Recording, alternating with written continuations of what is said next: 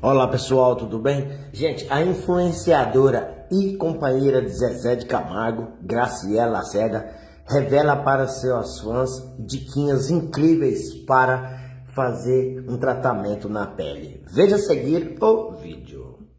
Aproveitei que hoje é domingo, já fiz uma esfoliação no corpo inteiro. Já já eu vou passar meus cremes, mas antes eu vou fazer agora no meu rosto, meus cuidados com a pele.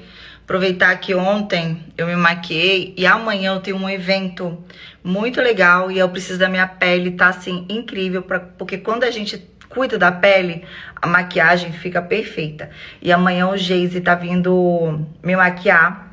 Amanhã ele que vai me maquiar porque é um evento muito legal. E aí eu chamei ele para me arrumar, para ficar bem top. E eu vou fazer aqui meus cuidados. Vou fazer meu tratamento com a aloe O que eu fiz no meu corpo, eu vou fazer no meu rosto.